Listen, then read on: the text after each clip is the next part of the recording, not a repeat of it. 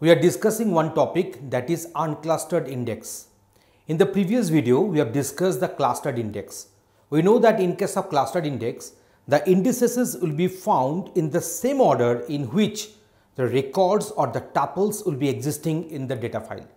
But in case of unclustered index, these index entries, their respective order will not be same the order in which records are existing in the data file.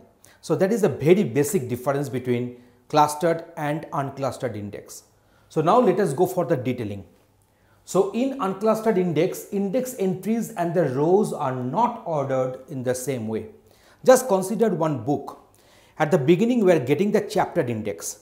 So the chapters are occurring in the index in the same order in which the chapters are there in the rest pages of the book. Now go for the topic index which is which we usually found at the end of the book.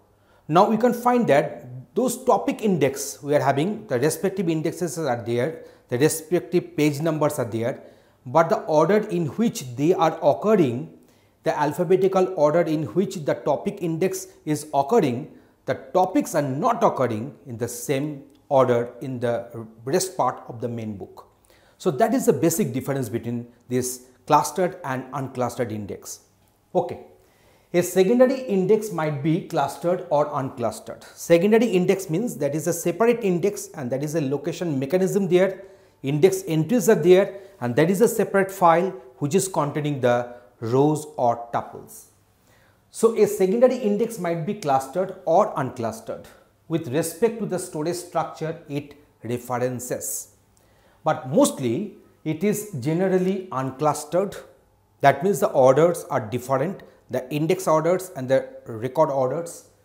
There can be many secondary indices on the same table.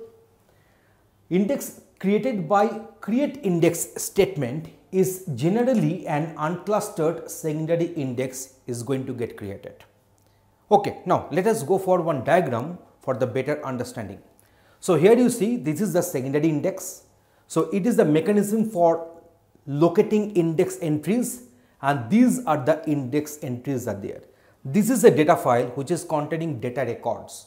So now see the first index entry is pointing to the ith one, the second index entry is pointing to the second accidentally, the third index entry is pointing to the first, the last index entry is pointing to the third record. In this way, you can find that these index entries are not pointing to the records in which they are occurring in the respective data file. So, it is a good example of unclustered secondary index. Secondary index means it has got detached with the data file and unclustered means the orders are not same. So, in this way in this session you have got a detailed idea regarding the unclustered index. Thanks for watching this video.